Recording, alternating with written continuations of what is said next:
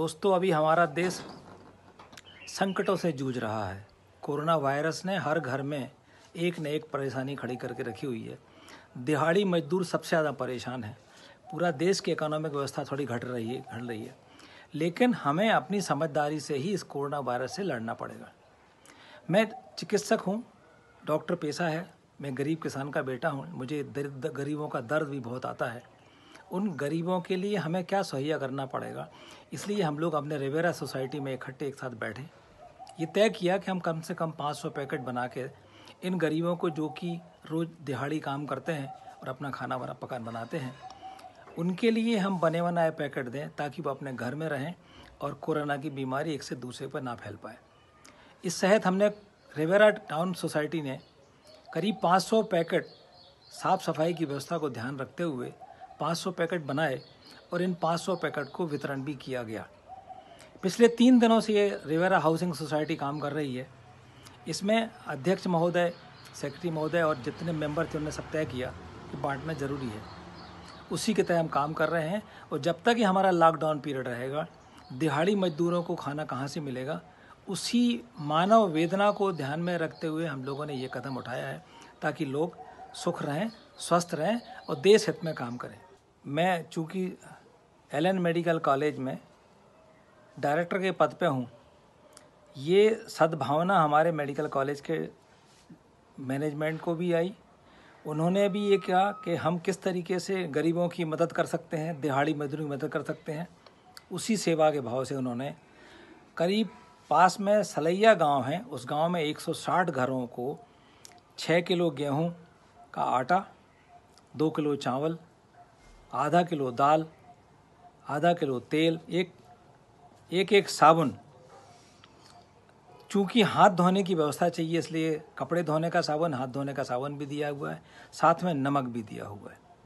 चूँकि गरीबों की सहायता में एलन मेडिकल कॉलेज का भी विशेष योगदान रहता है, इसलिए समाज के हित में उन्होंने बीड़ा उठाया और आज रामनवमी के दिन से लॉकडाउन के पीरियड तक ये संस्थान सभी गरीबों की मदद करने के लिए, दिहाड़ी मजदूरों की मदद करने के लिए, या जो जरूरतमंद है उनके लिए ये सेवा मुहैया कराएगा।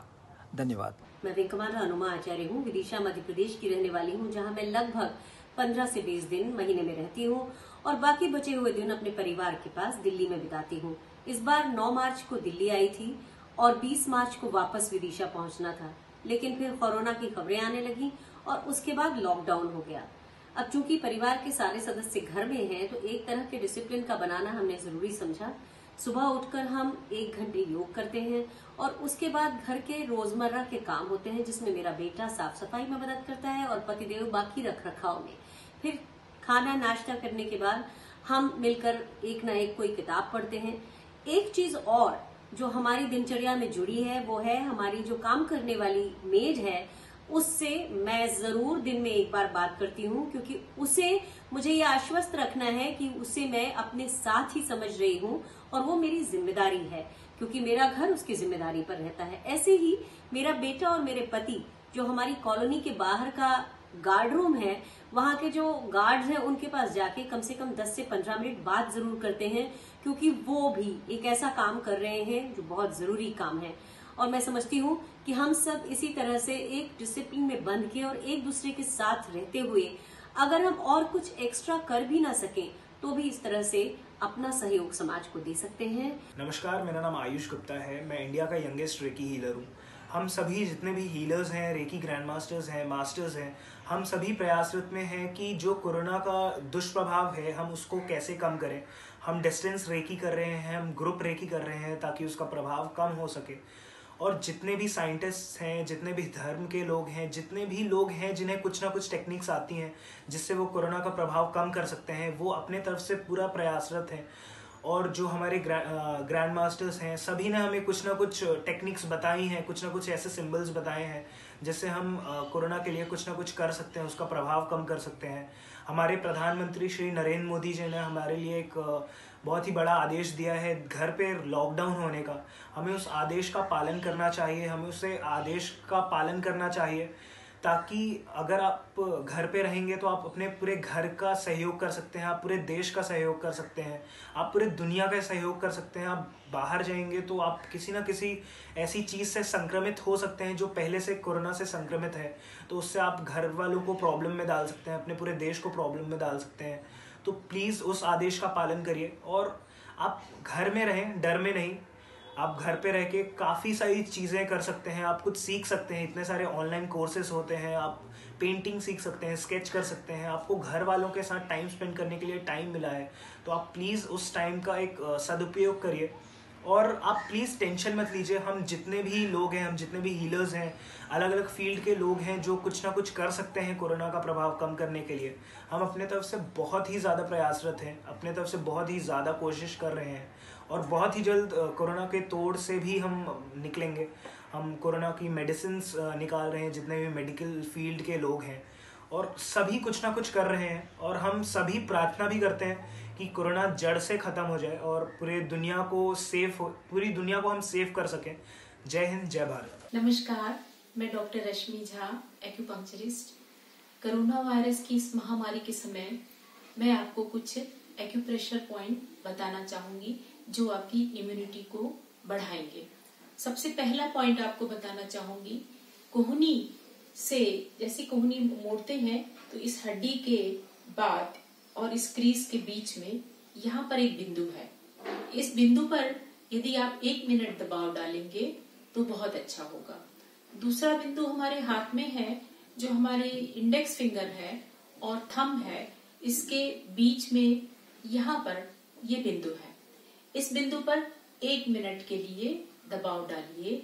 ये आपके पूरे फाइव सेंस ऑर्गन के लिए बहुत उपयोगी है। अगला बिंदु पैर के घुटने की कटोरी जो है, इससे चार उंगली नीचे और एक उंगली बाहर की ओर यहाँ एक बिंदु है। इससे भी एक मिनट के लिए दबाना है। इसके बाद जो हमारा टखना है, टखने से ठीक चार उंगली ऊपर मध्य रेखा में मिड लाइन में यहाँ एक पॉइंट है। इस पॉइंट को भी इसी तरह से एक मिनट दबाना है। बिग टो और उसके बाद वाले टो के बीच में यहाँ पर भी एक बिंदु है, जिसे कि एक मिनट दबाना है। आपको मैंने चेहरे का नहीं बताया, चेहरे में जो हमारी नाक के दोनों तरफ़ नॉस्ट्रिल के दोनों तरफ़, यहाँ पर दो बिंदु है, जो कि आपकी बंद नाक को खोलता है और इम्यूनिटी को बढ़ाता है। तो इस तरह आप यदि इन पॉइंट्स को एक एक मिनट दबाते हैं, ऐसा दिन में कई बार करिए। तो आप स्वस्थ रहेंगे, आपकी इम्यूनिटी बढ़ती रहेगी। घर पे रहिए, स्वस्थ रहिए। धन्यवाद। नमस्कार, मैं doctor Vijay Saxena, director smart city hospital Bhopal.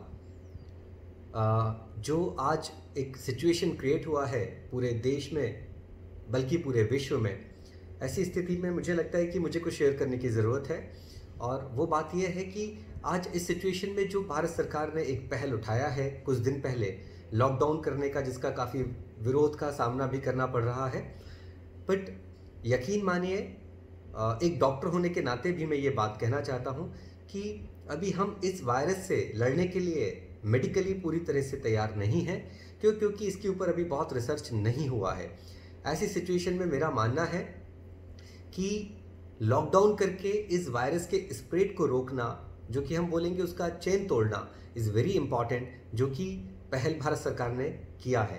क्यों? क्योंकि डेवलपिंग कंट्री होने के बाद भी हम आज उससे बेहतर तरीके से लड़ पा रहे हैं। रादर डेवलप्ड कंट्री जो बहुत ही डेवलप्ड कंट्रीज़ हैं, वहाँ पे जो स्प्रेड को रोक नहीं पाए, जिसके कारण से आप अगर आंकड़े देखेंगे टीवी पे, जो कि आप लोग देख रहे होंगे सो मौत बहुत ज़्यादा हुई है वहाँ पे।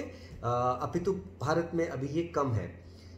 निश्चित तौर पे स्प्रेड बहुत तेज़ी से फैल रहा है और अगर ये स्प्रेड तेज़ी से फैलेगा और अगर हम इसमें भारत सरकार का और सरकार का साथ नहीं देते हैं, चाहे हम किसी भी कम्युनिटी को बिलोंग करते हों, पर बहुत ज़रूरी है कि हम इसका साथ दें क्योंकि हम सब लोग एक इंसान हैं और इंसानियत के नाते भी हमें अपनी सोसाइटी पूरी सोसाइटी और पूरी इंसान जो है उस धर्म का पालन करना है और हमें इसको यू नो इसकी चेन को तोड़ना पड़ेगा।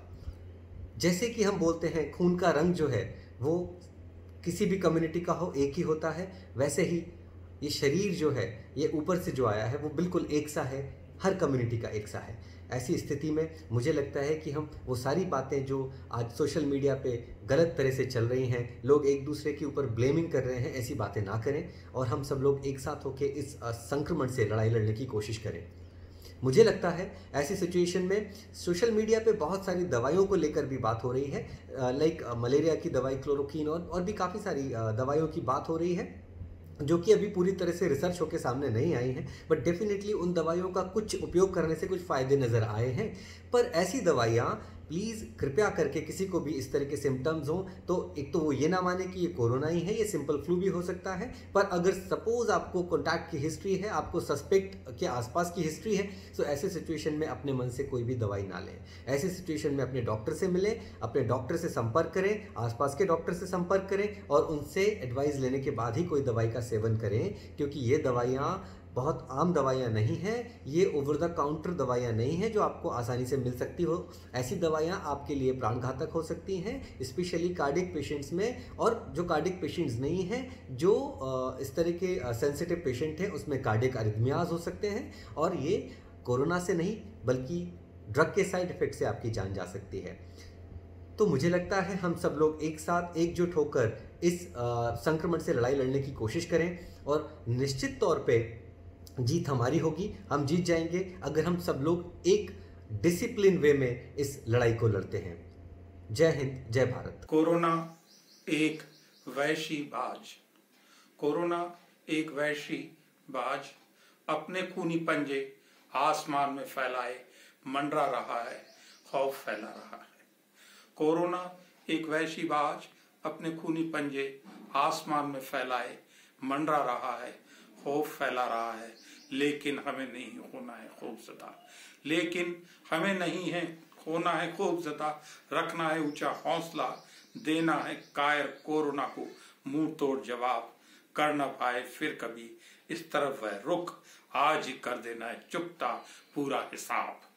आज ही कर देना है चुपता पूरा हिसाब, हमें रखना है धैर्य, धीरज, साहस और धर्म। हमें रखना है धैर्य धीरज, साहस और धर्म, आज यही है हमारा परम कर्म, आज यही है हमारा परम कर्म। रखना है साफ़ सुथरा घर का कोना कोना। रखना है साफ़ सुथरा घर का कोना कोना और अपने मुखिया की मन की बात का मन से करना है पालन। और अपने मुखिया की मन की बात का मन से करना है पालन। रखना है ध्यान। सुनिए भाई साहब और भाईजान रखना है ध्यान। सुनिए भाई साहब और भाईजान लॉकडाउन का भी न करें कभी उल्लंघन। लॉकडाउन का भी कहीं न करे उल्लंघन, वरना लाख हो जाएगा यह अनमोल जीवन। और और भी ज़रूरी बात, मुँह पर लगाए रखिए मास्क। और भी और भी ज़रूरी बात, मुँह पर लगाए रखिए मास्क। दूरी रखे पर्याप्त, सो की सीधी, एक यही अपने भले की बात। मुँह पर लगाए रखिए मास्क दूरी रखे पर्याप्त, सो की सीधी, यही अपने भले की एक बात। हम हिंदू, हम मुस्लिम, सिख हम ईसाई हैं। हम हिंदू, हम मुस्लिम, सिख हम ईसाई हैं। भारत के वासी सब भाई हैं भाई हैं। हमारा एकजुट रहना ही हमारी ताकत है। हमारा एकजुट रहना ही हमारी ताकत है। इससे ही रहती सभी को चौतरफा दहशत है, हम महाकाल के लाल, काल भी हमसे घबराता है। हम महाकाल के लाल, काल भी हमसे घबराता है। शक्ति पुत्र हम पलक झपकते, फांद आते हैं सात समुंदर। शक्ति पुत्र हम पलक झपकते, फांद आते हैं सात समुंदर। कितना भी ऊँचा हो, किसी गर्वीले पर्वत का कोई शिखर, कितना भी ऊँचा हो, किसी गर्वीले पर्वत का कोई शिखर अपनी कीर्ति ध्वजा फहराने में लगता नहीं है। हमें पल भर सागर से लेकर आसमान तक, सागर से लेकर आसमान तक लिखी हमारे पौरुष की कहानी है। सागर से लेकर आसमान तक लिखी हमारे पौरुष की कहानी है। वसुदेव कुटुंबकम के आराधक हम सच्चे हिंदुस्तानी हैं। वसुदेव कुटुंबकम के आराधक, सच्चे हिंदुस्तानी हैं, सच्चे हिंदुस्तानी हैं। नमस्कार, मैं doctor Manoj Kumar Sinha, associate professor economics, government college में सुल्लागढ़ अभी संपूर्ण भारत एक अभूतपूर्व संकट से गुजर रहा है।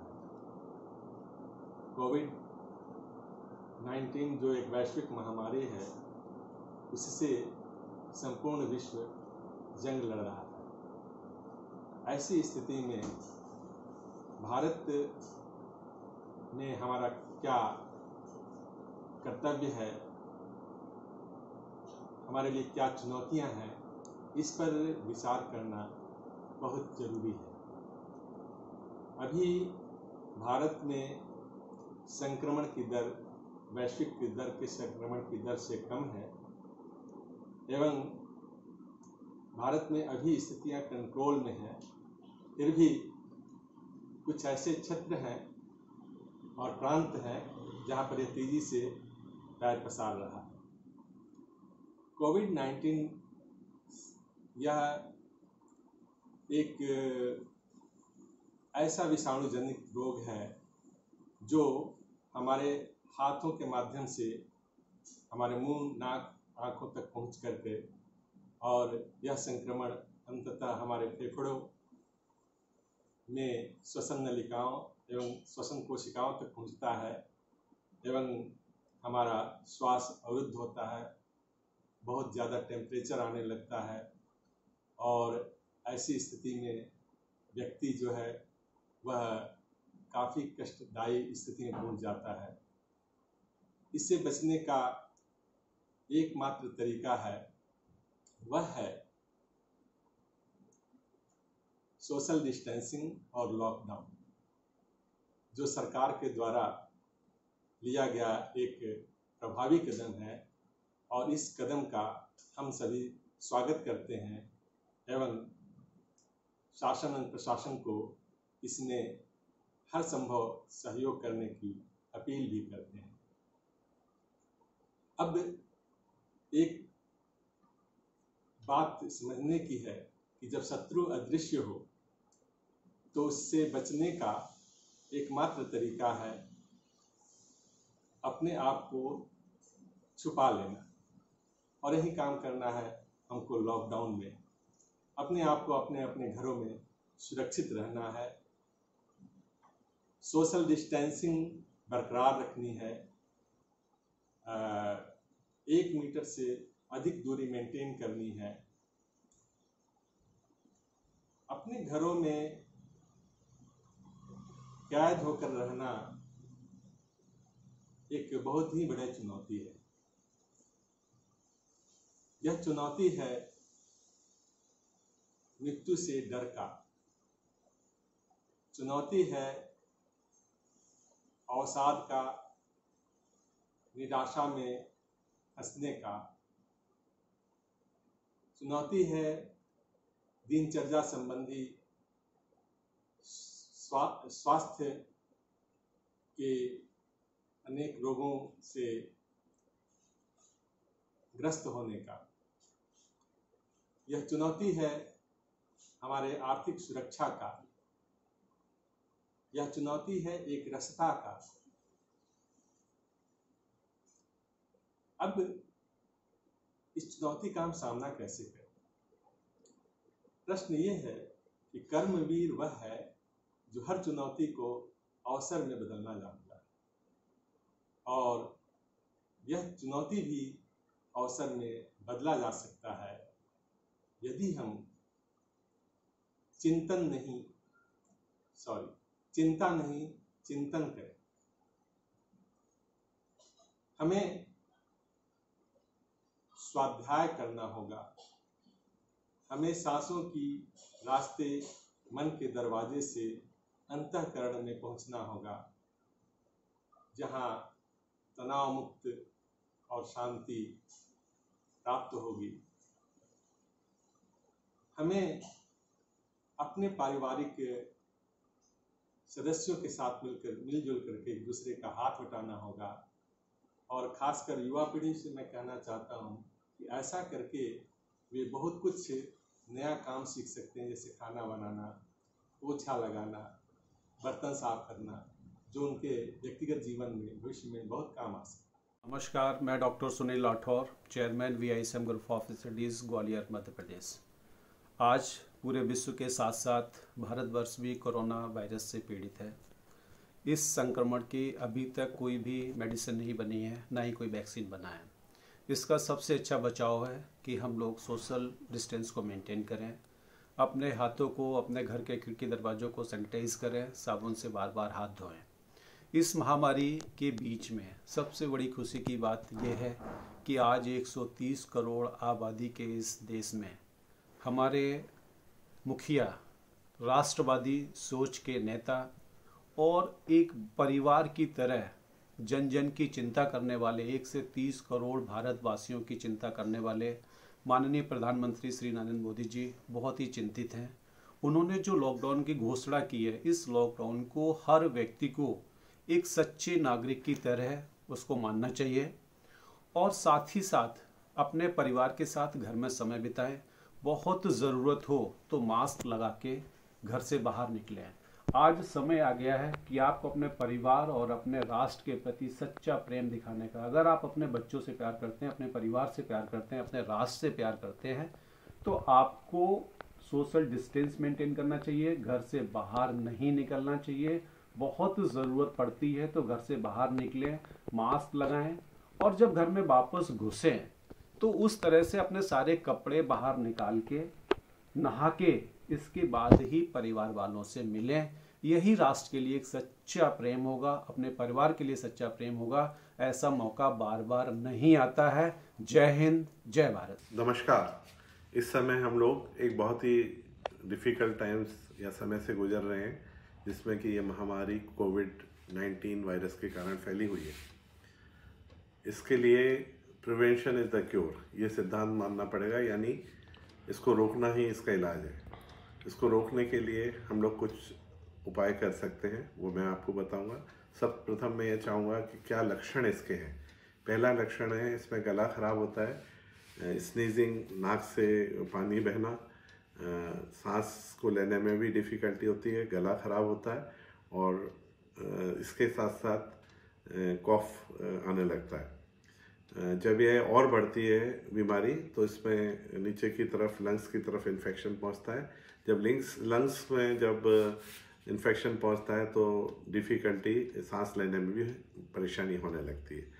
तो ये इसके सिम्टम्स हैं। ये शुरुआत ऐसे ही करती है जैसे कोई और फ्लू करता है, लेकिन जब ये प्रोग्रेस होती है तो कॉम्प्लिकेशन रेस्पिरेटरी डिप्रेशन के कारण फेटल या अंत मौत भी हो सकती है। इसके लिए, रोकने के लिए जो उपाय हैं, वह बहुत इंपॉर्टेंट है। वही हमको मालूम होना चाहिए और सीखना चाहिए। ये जो बीमारी बैठती है तो ये बैक्टीरिया कफ के कारण, जैसे कफ हुआ तो जो ड्रॉपलेट्स हैं, वो बाहर गिरते हैं। तो वो ड्रॉपलेट्स के आप जब कांटेक्ट में आते हैं तो उसका संक्रमण जिस व्यक्ति के कांटेक्ट में आते हैं, उसको हो जाता है। तो उसको रोकने के लिए सबसे कारगर उपाय है हैंड वॉश फ्रीक्वेंट मैंने बार बार अपने हाथ धोना चाहिए। हाथ धोने का एडवांटेज ये है कि जो सोप है, या कोई भी साबुन है उससे इसकी जो लेयर आउटर लेयर फैटी होती है तो वो उससे वह घुल जाती है और इसका वायरस का ख़त्म हो जाता है। तो उसके लिए at least about thirty seconds wash करना चाहिए, हाथ को। दूसरा है कि मास्क लगाना चाहिए, जिससे आपको अगर है इन्फेक्शन तो आप दूसरों का ना दें, या दूसरा सामने से स्नीज कर रहा है तो आपका भी प्रोटेक्शन उससे हो जाता है। तीसरी बहुत है, जो इम्पोर्टेंट बात है कि जब कहीं बाहर निकलें या किसी भीड़ भाड़ एरिया में जाएँ तो डिस्टेंस मेंटेनेंस होना चाहिए। जैसा मैंने बताया, ये ड्रॉपलेट से बीमारी फैलती है तो जो एक मीटर के दूर तक ये खांसने या उससे जा सकती है। इसलिए एक मीटर से अधिक दूरी मेंटेन होना चाहिए। तो ये संक्रमण नहीं होगा। पर्सनल कॉन्टैक्ट्स अवॉइड करना चाहिए, जैसे कि हाथ मिलाना। हमारा जो पुराना तरीका और देश का तरीका नमस्कार करना वही उचित है। आ, अपने फेस और मुँह को आँखों को नहीं छूना चाहिए जिससे कि ये इन्हीं के थ्रू अपने शरीर में एंट्री कर सकता है। अब आ, मेरा ये कहना है इसको अगर इसके कोई बात होती है तो इसको अपने को छुपाना नहीं चाहिए और फॉरेन डॉक्टर को दिखाना चाहिए और उचित गाइडेंस लेके पूरे इन्वेस्टिगेशन करना चाहिए। इससे डरने की आवश्यकता नहीं, क्योंकि काफ़ी लोग ठीक भी हो जाते हैं और रिकवरी बहुत अच्छी होती है कभी कभी अगर समय से सब इलाज शुरू हो जाता है। तीसरा, ये मेरा रिक्वेस्ट ये है कि प्रशासन से और शासन के जो निर्देश हों, वो आपके इंटरेस्ट में है। अपने देश के प्रधानमंत्री जी और सारे डॉक्टर्स पुलिस ऑफिसर्स मीडिया कर्मी सभी इसके लिए बहुत मेहनत कर रहे हैं। तो उनको सहयोग दीजिए और इस बीमारी को बढ़ने से बचाइए। धन्यवाद। मैं इंजीनियर देवर्षि मिश्रा। सभी नगर वासियों से एक आग्रह करना चाहता हूँ कि जिस तरह से हमें पता है, पूरा विश्व कोविड 19 जैसी महामारी से ग्रसित हो रहा है, उससे बचने का प्रयास कर रहा है, उसी तरह हमारा भारतवर्ष भी इस लड़ाई को जीतने के लिए सारे प्रयत्न कर रहा है। हमारे प्रधानमंत्री श्री नरेंद्र मोदी जी ने जिस तरह से सभी नगरवासियों, सभी देशवासियों से निवेदन किया है कि सभी लोग घर में रहें। हम सभी को उसका पालन करना चाहिए। यह हमारे हित में है, हमारे जीवन के हित में, हमारे परिवार के हित में, हमारे समाज के हित में। है चूँकि मैं एक अध्यापक हूँ तो मैं सभी विद्यार्थियों को यह आग्रह करना चाहता हूँ कि यह निश्चित है कि हमारा नुकसान हो रहा है पढ़ाई में। यह सच है कि अगर इस तरह की महामारी हमारे सामने नहीं होती तो इस समय को बहुत अच्छे से हम यूटिलाइज कर रहे होते। लेकिन एक बात हमेशा ध्यान रखिए कि हम विद्यार्थियों के पास में ऑनलाइन जैसी एक ऐसी सुविधा है, जिसका हम पालन करके अपने समय को बचा भी सकते हैं और हम बेहतर से बेहतर पढ़ाई भी कर सकते हैं। तो मेरा सभी विद्यार्थियों से यह आग्रह है कि वह ऑनलाइन क्लासेस लेकर के अपने विद्यालय से, अपने रेस्पेक्टेड टीचर्स से पढ़ाई करते रहें। इसलिए आप बिल्कुल भी परेशान मत हों ये एक कठिन घड़ी है हमारे समाज के लिए, हमारे देश के लिए। उसमें एक समझदार नागरिक की भूमिका निभानी है हमें। ध्यान रखिए, अफवाहों से बचिए। जैसा कि हमसे बोला गया है समय समय पर और बार बार हाथ धोइए।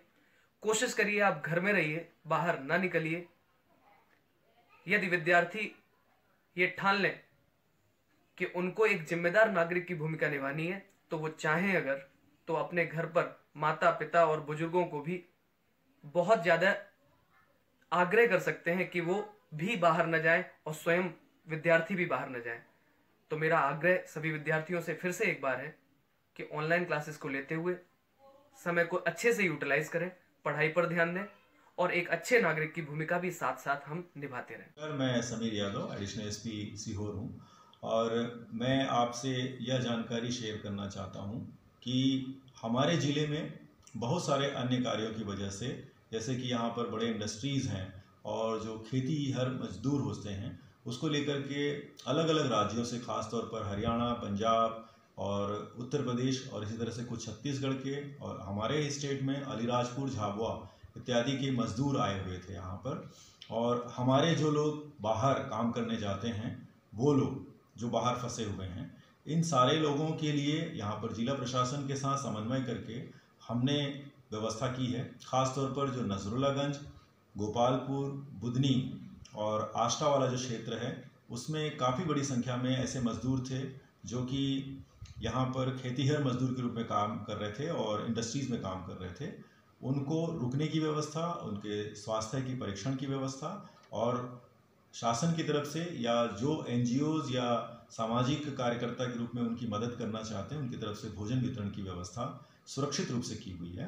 इसके अलावा भी हमने ये तय किया है कि पूरे ज़िले में कोई भी ऐसा दिहाड़ी मजदूर या फिर जो कि रोज़ाना काम करके अपना जीवन चलाते हैं, भूखा ना रहे। इसके लिए आष्टा में भी और सीहोर जैसे बड़े शहर में हमने यहाँ पर जो नगर पालिका है और जिला प्रशासन है, उसके माध्यम से जो दीनदयाल रसोई योजना है, उसके अंतर्गत भोजन वितरण और उनके रहने की अच्छी व्यवस्था की है। हम लगातार ये प्रयास कर रहे हैं कि यहाँ पर जैसे कि राजस्थान से जो लोग होते हैं, जो भेड़ और ऊँट लेकर के आते हैं, वो लोग भी रुके हुए थे। इसी तरीके से जो उत्तर प्रदेश से जो मज़दूर आए हुए थे, वो लोग भी रुके हुए थे। तो वो ये लॉकडाउन की स्थिति में उनके लिए यह बहुत बड़ा सवाल था कि वो अपना रोज़ी रोटी कैसे चलाएँ। क्योंकि दो चार दिन, पाँच दिन उसके सहारे रहा जा सकता है, लेकिन फिर उसके बाद खाद्यान्न समाप्त हो जाता है। तो हमने लगातार ये प्रयास किया है कि उन तक भी प्रशासन के लोग पहुँचें और मेडिकल की टीम जाए, ताकि उनका स्वास्थ्य परीक्षण भी होता रहे और उन्हें भोजन का भी वितरण होता रहे। इस तरह से पूरे ज़िले में व्यवस्था है और हम ये लगातार प्रयास करते रहेंगे कि ऐसे लोग जो कि ज़रूरतमंद हैं, उन्हें आप लोग के माध्यम से भी जानकारी मिलने पर हम ये सारी चीज़ें उपलब्ध करा सकें। धन्यवाद। हेलो फ्रेंड्स मेरा नाम सारिका मनोज गुप्ता है। मैं विश्वामित्रा बॉडी वुशु कोच हूँ। सन 2007 से India team, Indian wushu team को ट्रेनिंग करा रही हूँ। आप लोग जैसा कि जानते हैं, हम सारे क्वारंटाइन है आइसोलेट हैं अपने अपने घरों में। सरकार जितने प्रयास कर रही है हमारी स्वास्थ्य और हमारी सुरक्षा के लिए, उसमें कुछ हमारे भी दायित्व होते हैं कि हम अपने आप को स्वस्थ रखें और घर में रहते हुए अपने इम्यूनिटी सिस्टम को डेवलप रखें, ताकि किसी भी वायरस से लड़ने में हम सक्षम हों। मैं आज आपको सिंपल सिंपल एक्सरसाइजेस बता रही हूँ। सबसे पहले आप अपने पैरों को इतना दूर कर लीजिए और एक साइड टर्न कीजिए अपने एक पैर को और डाउन जाइए। होल्ड करिए जितनी देर आप कर सकते हैं। देन आप सामने आ जाइए। Opposite side same down up इसी को आप रिपीट करें। Up side down hold and up simple squats करेंगे। नीचे जाइए, जितनी देर आप होल्ड कर सकते हैं होल्ड करिए देन आप बैठे hold and up down hold and up नमस्कार, मेरा नाम डॉक्टर दीपक उप्रेजा और मैं एक शिशु रोग विशेषज्ञ हूँ। कठिन समय है, विकट परिस्थितियाँ हैं और मैं उम्मीद करता हूँ कि इस समय में आप और आपका पूरा परिवार कोरोना वायरस के संक्रमण से बचा हुआ है और आगे भी बचा हुआ ही रहेगा। आज का अपना विषय है कि किस तरह से हम खुद को और अपने बच्चों को कोरोना वायरस के संक्रमण से बचा सकते हैं और इन विकट परिस्थितियों के अंदर किन आदतों का और कौन सी चीज़ें बच्चे के खान पान में अपन ध्यान दें जिससे बच्चे के अंदर उसकी प्रतिरोधक क्षमता बढ़े और उसके अंदर कोरोना वायरस के संक्रमण की संभावना कम हो जाए। तो पहले भाग के बारे में अपन बात करते हैं कि कोरोना वायरस के संक्रमण से हम अपने बच्चे को किस तरीके से बचा सकते हैं। हम लोग जानते ही हैं कि कोरोना वायरस हमारे बच्चे के शरीर में या तो डायरेक्ट ट्रांसमिशन से आ सकता है या फिर इनडायरेक्ट ट्रांसमिशन से आ सकता है। डायरेक्ट ट्रांसमिशन का अर्थ होता है कि अगर हमारा बच्चा किसी ऐसे व्यक्ति विशेष के संपर्क में आता है जिसके शरीर के अंदर कोरोना वायरस है तो जब वह व्यक्ति खांसेगा, छीकेगा या बोलेगा तो ये वायरस हमारे बच्चे के शरीर के अंदर प्रवेश कर जाता है और बच्चे को संक्रमित कर सकता है। ये होता है डायरेक्ट ट्रांसमिशन इसको रोकने के चार तरीके हैं। सबसे महत्वपूर्ण सोशल डिस्टेंसिंग अर्थात सामाजिक दूरी। जहाँ तक हो सके, हम अपने घर को अपने बच्चे को अपने घर से बाहर ना निकालें। दूसरा, किसी अत्यंत आवश्यक कार्य से हमको बच्चे को घर से बाहर लेकर भी जाना पड़ता है तो उसको सही तरीके से मास्क पहना कर ले जाए तीसरा, अगर हम जानते हैं कि किसी व्यक्ति को सर्दी, खांसी या बुखार है तो उससे किसी भी स्थिति में हम अपने बच्चे को दूर रखें। और चौथा, जिसे कफ हाइजीन कहा जाता है, कि अगर कोई छींकता है खांसता है तो अपने नाक और मुँह को टिश्यू या रुमाल से ढकें या फिर अपने स्लीव्स के अंदर छींकें या खांसें। इन चार तरीकों से हम अपने बच्चे को डायरेक्ट ट्रांसमिशन से बचा सकते हैं। अगला इनडायरेक्ट ट्रांसमिशन से बचाना। इनडायरेक्ट ट्रांसमिशन का अर्थ होता है कि हमारा बच्चा किसी व्यक्ति के डायरेक्ट सीधे संपर्क में नहीं आया है, परंतु उसने किसी ऐसे ऑब्जेक्ट ऐसे आर्टिकल ऐसे सरफेस को टच किया जहाँ पर ऑलरेडी कोरोना वायरस है वहाँ पर हाथ लगाया वो हाथ अपने नाक या मुँह पर लेकर गया। इसको इनडायरेक्ट या फोमाइट मीडिएटेड ट्रांसमिशन कहा जाता है। इसको रोकने के लिए क्या करना है? सबसे पहला, अपने बच्चे को बार बार शिक्षित करें कि जब तक ज़रूरी ना हो, नाक, मुँह, आँख और चेहरे को हाथ न लगाएँ। नमस्ते, मेरा नाम निकिता मंडली महोदय है और मैं एक आईटी इंजीनियर के साथ साथ निकिता योग निकेतन की फाउंडर भी हूँ। मैं एक इंटरनेशनली सर्टिफाइड योगा टीचर हूँ एंड पिछले कुछ दो साल से भोपाल में योगा सिखा रही हूँ। लॉकडाउन के अनाउंसमेंट के बाद मेरी जितनी भी लोगों से बात हुई, सभी काफ़ी परेशान और चिंतित लगे जो कि ऐसी सिचुएशन में नॉर्मल है। इसीलिए मैंने डिसाइड किया कि मैं ऑनलाइन क्लासेस लेना स्टार्ट करूँगी। ट्वेंटी फ़र्स्ट मार्च से डेली मेरी ऑनलाइन योगा क्लासेस चल रही हैं। और न केवल मेरे स्टूडेंट्स जो कि भोपाल में हैं, बल्कि ऑल ओवर इंडिया से, काफ़ी सिटीज़ से लोग मेरे साथ जुड़ रहे हैं एंड घर पे योगा कर रहे हैं। इस क्वारंटाइन पीरियड में ये मेरा एक इनिशिएटिव है, कुछ हद तक आप लोगों की मदद करना ताकि एक आप पॉजिटिव एटीट्यूड से इस सिचुएशन के साथ लड़ सकें। हमें साथ मिलके इस सिचुएशन से न सिर्फ़ निकलना है, बल्कि मेंटली एंड फिजिकली स्ट्रांग होके उभर के आना है, ताकि हम आगे अपने इंडिया को, अपनी फैमिली को और स्ट्रांग लेवल पे ला सकें। तो मेरी आपसे हाथ जोड़ के बस इतनी सी विनती है कि आप घर पे रहें। गवर्नमेंट ने जो रूल्स दिए हैं, वो आपकी सेफ्टी के लिए ही है। प्लीज़ उन्हें फॉलो करें।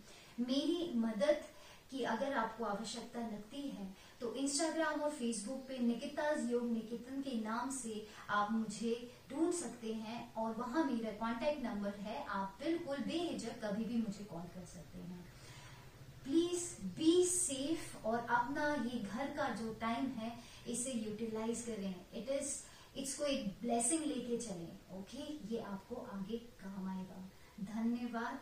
स्टे होम दोस्तों, नमस्कार। मैं Manoj Gupta international wushu coach international wushu जज साथ ही साथ हाल ही में इंटरनेशनल वूशु स्पर्धा में मैंने खुद खेलकर गोल्ड मेडल भारत के लिए जीता हूँ। आप सभी से मेरा निवेदन है, इस वक्त कोरोना वायरस से बचने के लिए आप सभी अपने घर में रहें, बाहर बिल्कुल ना निकलें, क्योंकि ये वायरस किसी संक्रमित व्यक्ति के संपर्क में आने से ही फैलता है। तो बेहतर होगा, हम घर में रहें, शासन के निर्देशों का पालन करें लॉकडाउन का पालन करें, खुद को, अपने परिवार को और अपने देश को इस आपदा से बचाने में मदद करें। धन्यवाद। नमस्कार, मैं वीरेंद्र एस टी दतिया। आज आपसे गुजारिश करना चाहता हूँ। ऐसे कोविड नामक महामारी है, एक वैश्विक लेवल पर फैल रही है, आज पूरा समस्त संसार इसके खतरे से जूझ रहा है, सामना कर रहा है। आप इसको अत्यंत गंभीरतापूर्ण लें। जो कोविड नाइन्टीन या कोरोना वायरस से होने वाली बीमारी बहुत ही संक्रामक बीमारी है, एक दूसरे के छूने से फैलती है। एक संक्रमित व्यक्ति, कई सारे स्वस्थ व्यक्तियों को संक्रमित करने की क्षमता रखता है। इस बीमारी से बचाव ही इसका इलाज है। हम संक्रमण की जो चैन है, उसको तोड़कर इस बीमारी से समस्त संसार को एवं भारत देश को बचा सकते हैं। आपको इसके लिए बहुत ज़्यादा कुछ नहीं करना है। सिंपल सा सॉल्यूशन है कि आप घर में रहें एक दूसरे को छुएँ ना, लगातार हाथ धुलते रहें और जितना ज़्यादा हो सकता है अपने आप को आइसोलेटेड रखें। लॉकडाउन जो भारत सरकार द्वारा लाया गया है, इसी डायरेक्शन में एक स्टेप है। हम सभी लॉकडाउन का पालन करें। लॉकडाउन अर्थात घर में रहना। संक्रमित व्यक्तियों से दूर रहना, बच के रहना, अपने आप को सुरक्षित रखना। हम सभी इस लॉकडाउन को पूरी तरह पालन कर कर संक्रमण का जो स्प्रेड है उसको कम कर सकते हैं एवं जो भारत में स्वस्थ व्यक्तियों की संख्या है, उसको संक्रमित होने से बचा सकते हैं।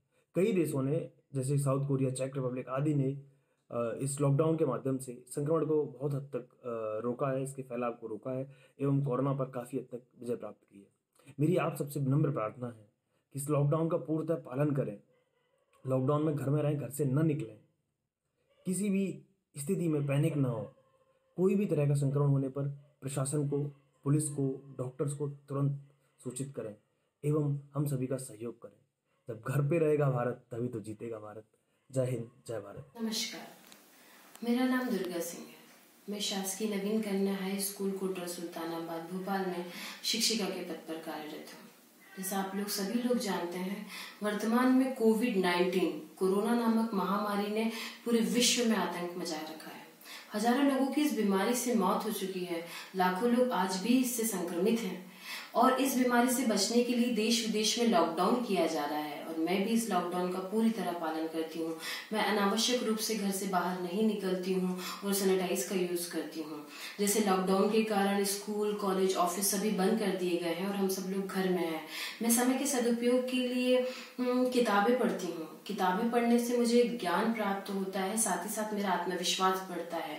और मैंने शिक्षिका के तौर पे अपने एक व्हाट्सएप ग्रुप का निर्माण किया है, जिसमें मेरे बच्चे जुड़े हुए हैं। उसमें मैं प्रतिदिन पढ़ाई से संबंधित शिक्षा शिक्षण सामग्री बच्चों के समक्ष प्रस्तुत करती हूँ, कोरोना से बचाव के लिए बच्चों को बताती हूँ। वो बच्चों को भी यदि कुछ परेशानी होती है तो मुझसे साझा करते हैं और उसके निवारण के लिए मैं पूरी तरह तत्पर रहती हूँ। इस प्रकार मैं अपने शिक्षण जो मेरा शिक्षक के तौर पर जो कर्म है, उसका भी पूरी तरह से दायित्व का निर्वहन कर रही हूँ। अंत में प्रभु से भी मेरी यही कामना है कि प्रभु हमें ताकत दे, अपना आशीर्वाद दे कि इस महामारी से हम बच सकें और पूरा विश्व इस जो भयावह बीमारी से जूझ रहा है, वह ये जो बीमारी है, वो पूरी तरह खत्म हो जाए।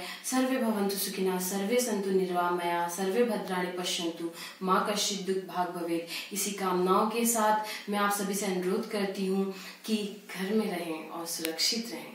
नमस्कार, जैसे कि आप सबको पता है, हमारे देश में बहुत बड़ी महामारी आई है, जिसका नाम कोरोना वायरस है। हमें इसके बचाव के लिए सोशल डिस्टेंसिंग यानी कि सामाजिक दूरी का पालन करना है, एक दूसरे से छः फीट की दूरी बना के रखना है समय समय पर अपने हाथ धोते रहना है सैनिटाइज़र का यूज़ करना है छींकते या खांसते समय रुमाल का इस्तेमाल करना है, घर में रहना है लॉकडाउन का पालन करना है भीड़ भाड़ वाली जगह पे इकट्ठा नहीं होना है और अपने घर में सुरक्षित रहना है। अगर आप बाहर रहेंगे तो कोरोना वायरस अंदर रहेगा। धन्यवाद। तो मैं डॉक्टर ममता, आप सभी के बीच मैं फार्मेसी कॉलेज में प्रिंसिपल पद पर कार्यरत हूँ।